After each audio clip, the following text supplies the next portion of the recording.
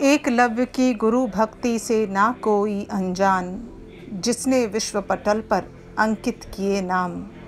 गुरु धुरी, गुरु जगत, गुरु मांझी समान।